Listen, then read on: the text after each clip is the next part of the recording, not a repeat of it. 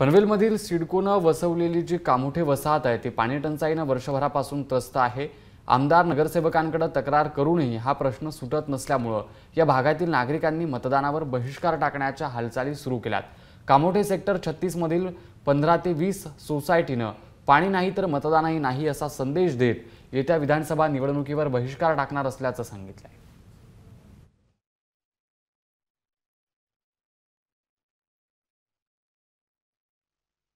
प्रशासनाच्या मार्फत कुठलाही विकास केलेला नाही. सर्वात मोठी समस्या आहे की जे जॉगिंग ट्रॅक नाही आहे आणि सिनियर सिटीजनसाठी विरंगुळा केंद्रही नाही आहे आणि पाण्याची सर्वात मोठी समस्या ही कामोठ्या शहरामध्ये आहे. आज आम्ही सेक्टर छत्तीसमधले स्थानिक रहिवासी एकत्र जमून संघर्ष करा का करावा लागतो?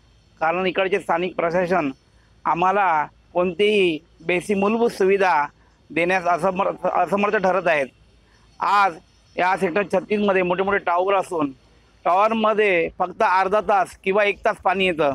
त्या पाण्यामध्ये प्रत्येक घरामध्ये फ्लॅटमध्ये एक पंधरा मिनटं पण पाणी येत नाही. त्यामुळे सर्वांचा दैनंदिन दिव दिवा दिनक्रम हा विस्कळीत असतो.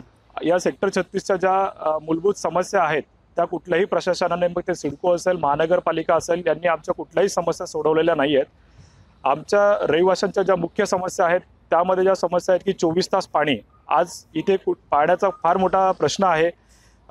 लहान मुलांना खेळण्यासाठी उद्यानं नाहीत सिनियर सिटीजनला बसण्यासाठी विरंगुळा केंद्र नाही आहेत रस्ते जे खड्डेमुक्त रस्ते आम्हाला या शहरामध्ये उपलब्ध नाही आहेत